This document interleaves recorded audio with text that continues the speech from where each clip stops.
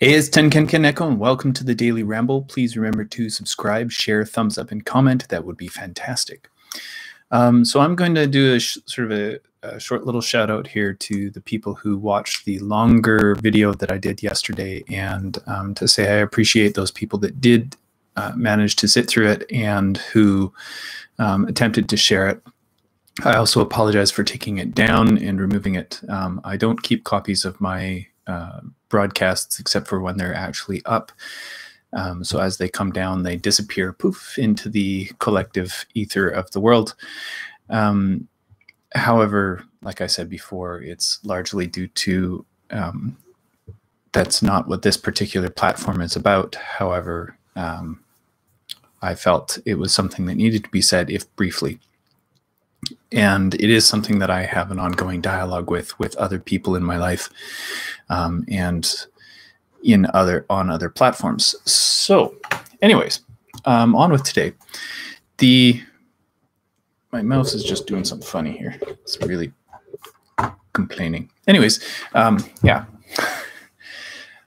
The the title for today is bibliography versus references, and why this is coming up is because I'm soon to be, as in the by the end of this month, which I think is it's the 22nd or 28th. I'm not sure which. I haven't written it on this calendar, um, but it is coming up fast. I have to do a 3,000 word critical commentary on my process as a writer and my progression as a writer over the last two years in my MA.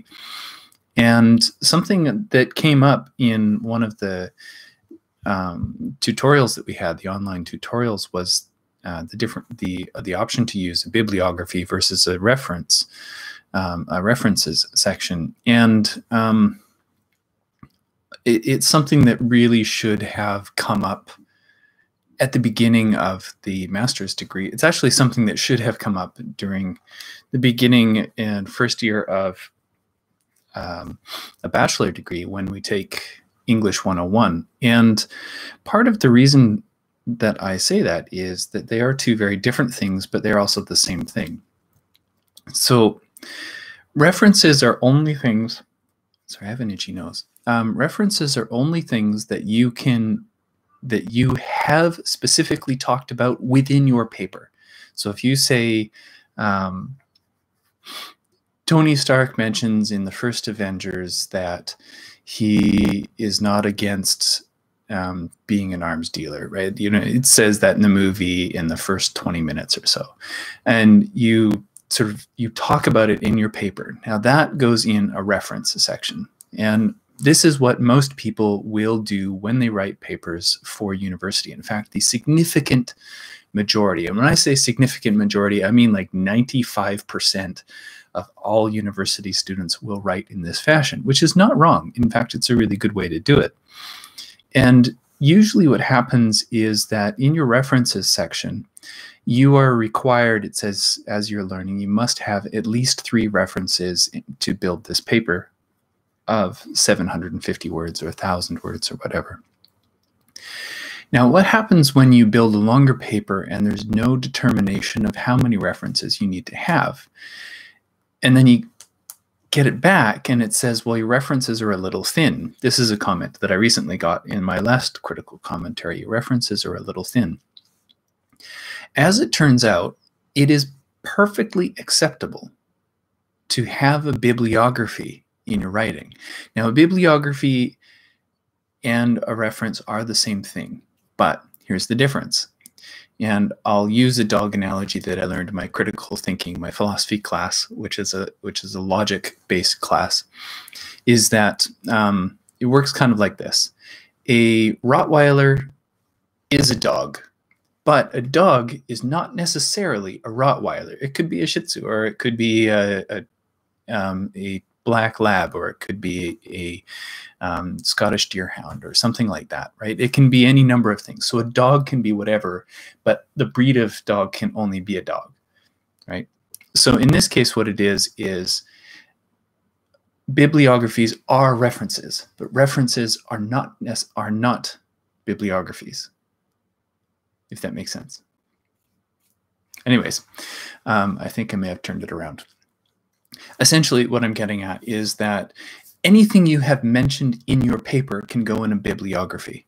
But what can also go in a bibliography is everything else you have read or possibly studied or watched or looked at that would pertain to or be relevant to the study or the paper that you are writing or the study that you are doing. Yeah. God damn it. um, so, in the case where you may only have referenced three or four things and be like, well, this doesn't look really good. It doesn't look like I'm doing enough work. Then you can say, here are all the things that I've studied and looked at, and this is all the things that have influenced the way I'm writing and working on something. So if you have if you have only a few references that you've talked about in the paper, but you're you're critically thinking about something, it is worth mentioning all the other stuff that has had that has had an influence on your writing. This is super important because sometimes teachers go, "Well, you're not really doing the work. It looks like you know you've you've only got five references in this in this paper. You know, it's um, you're obviously not making making any effort." And you say, "But yes, no, look, look, look! I literally read 87 different documents."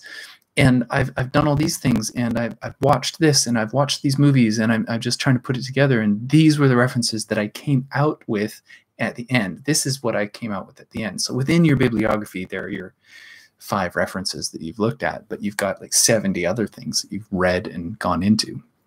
Now that has a big impact on your marks. Had I known this during my undergrad, I think I could probably have eked out a few extra percent in a number of different classes because it certainly came out where it's my teachers had said that I hadn't been doing enough of the work. And I'm like, uh, you know, I'm putting in 20 plus hours of homework a week. And, uh, you know, just because my paper only shows that I've got the minimum number of references, it, it doesn't mean that I haven't looked at other things. So I kind of wish I'd been told that. Anyway, random study tip for those people who are curious and who are looking into their future in research or whatever is do a bibliography. Skip the references part entirely. You you don't if you have a bibliography, you don't need a reference section because references are in the bibliography. But in a references section, you can only put what is in the paper. That's it. So a bibliography, everything you've looked at, references, only what's in the paper. There you go.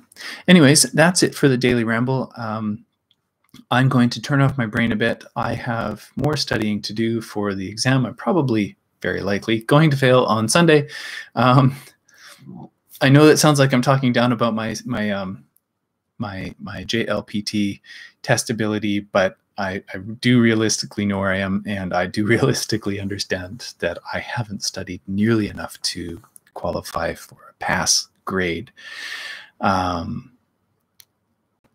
but I'll try anyway anyways, that's it for the Daily Ramble. I will catch you on the flip side and see you tomorrow. Um, I might go out tomorrow and do something silly like buy coffee downtown. silly, right?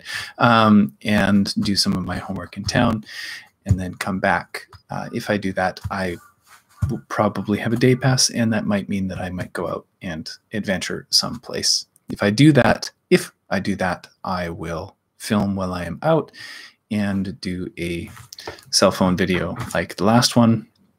If not, then I will do that on Sunday as I will be going out to the test and going into Sapporo Station itself or near there. All right. See you tomorrow. Ciao.